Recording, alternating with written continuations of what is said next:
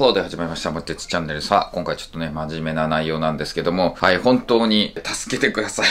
というか、本当申し訳ございませんというか、なんですけど、まあ今ね、テーラーの撮影ね、してるんですけども、ちょっとやっぱ、画面がうまくいかんということで、撮影がでもう止まることになりました。ストップという感じなんですよ。画面がうまくいかないと、まあ言うてら見てくれてる方だったらもしかしたら気づいてるかもしれないんですけども、非常に調整が難しいんですよ、動画の画像、画質。この、まあ、ソニーのカメラなんですけど、結構いいやつなんですが、どうやってもですね、うまく撮れない。えー、具体的にどういうことかっていうと、蛍光灯があるとですね、こう、フリッカーですね、チカチカチカチカしちゃうと、画面が。それをなんとかしなきゃいけないっていうのが、まあ、ずっと課題でやってきたんですね。このソニーのカメラって蛍光灯に弱かったりするので、で、まあいろいろ手を変え品を変え対策したんですよ。だ蛍光灯を LED に変えてみたと。でもやっぱり全然変わらない。で、だ LED を、まあ、どうバイパス工事って言って LED の缶だけじゃなくて、もう中のシステム変えなきゃいけないんじゃないかっていうので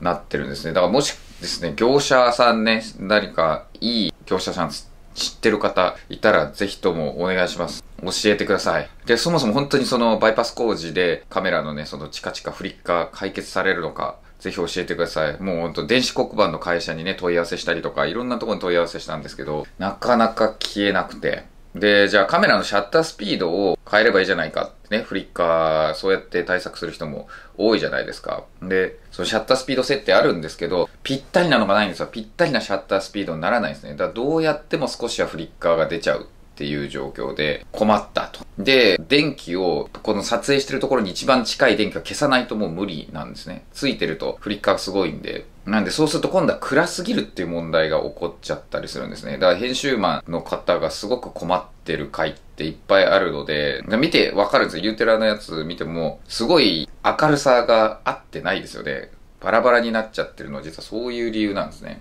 でもいろんな対策を試したんですけど、あの、だから全部ね、電気消して、照明だけでやればっていうのもあるんですけど、その場合って、すごい広い部屋なんですね。すごい広い部屋なので、照明がかなり強いものをたくさん用意しなきゃいけないっていう状況なんですよね。だから、武田塾 English の2箇所で撮影してたんですけど、その安い方の撮影箇所も同じような問題を抱えてたんですね。どうしても蛍光灯でいい画質にならないからっていうので照明を強くしてたりとかやってたんですけど、まあだから同じようにやるって、いやもう授業だとそれ難しいんですね。照明強く当てるとかっていうのはかなり難しいので、なんでまあ結構運ゲー、太陽光にも任せてるっていうところが現状なんですね。で、じゃあもうマニュアルにして、ISO っていうのがあるんですけど、その ISO を上げて明るくしようと。だフリッカーも抑えて明るさも上げてっていうのでやったんですけど、今度はぼやけちゃってですね、ぼやけるシーンが何回も出ちゃうっていう状況です。なんでちょっと今ある動画ももしかしたらもうお蔵入れにするしかないんじゃないかっていうことになってます。で、まあ、世界史はもう残ってるので、まだ、はい、そちら流していって、で、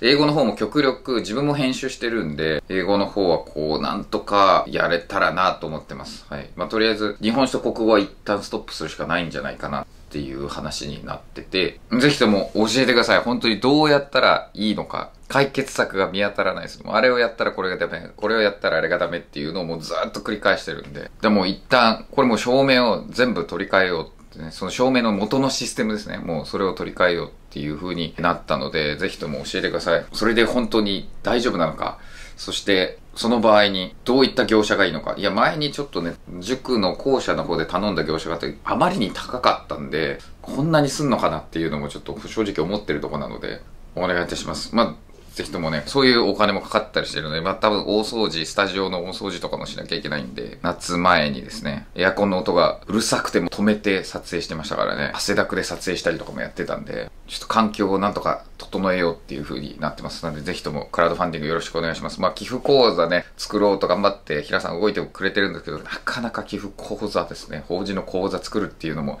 一苦労らしいので、すみませんが、本当によろしくお願いいたします。はい、ご視聴ありがとうございました。Thank you for watching. ふぅ、頑張ります。困ったな。